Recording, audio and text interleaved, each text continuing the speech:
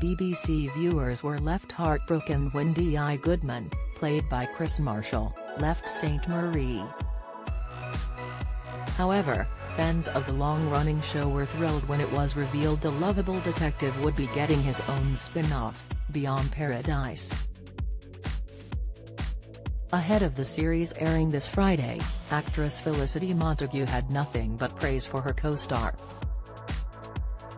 Set in the fictional Devonshire town of Shipton Abbot, Beyond Paradise picks up six years after D.I. Humphrey and Martha Lloyd, Sally Bretton, left the Caribbean for a new life in the UK.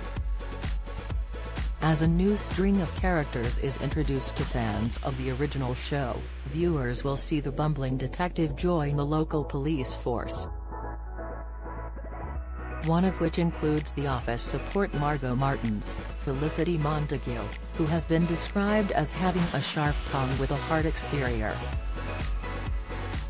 Ahead of Beyond Paradise airing on February 24, actress Felicity appeared on Morning Live to touch on what viewers can expect in the upcoming series.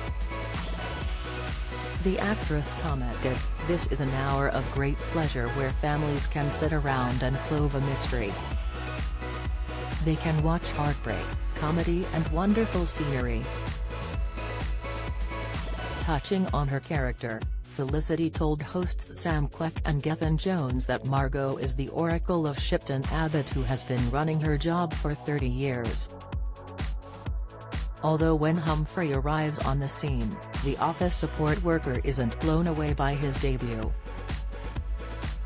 Felicity added, she doesn't really like and is very unsure of Humphrey when he arrives. We're all unsure of him but he gradually works his way into the police station but he's terribly unpredictable. I mean Kris is just the most extraordinary actor, he's fantastic. But, Esther, the detective sergeant, is a really good challenge, she's great with him. It's a great partnership, they go off and bounce off each other brilliantly. Also joining the Beyond Paradise cast is Dylan Llewellyn as PC Kelby, Zahra Ahmadi as DS Esther Williams and Jade Harrison as DCI Charlie Woods. During the series, viewers will see Humphrey and his fiancée temporarily living with Martha's mother as they adapt to their new lives. While Martha tries to live out her dream of owning her own restaurant, D.I. Goodman sets about trying to solve the odd cases throughout the town. Cases include a woman who claims to have been attacked by someone from the 17th century, theft of a pricey painting and a body turning up in a crop circle. Their relationship will also be put to the test when it's discovered Martha's ex is still living in Shipton Abbot. Speaking about how the spin-off will appeal to new audiences, actor Kris called the series unique. He commented, I don't think it's a show that's been done before in terms of the way we shoot.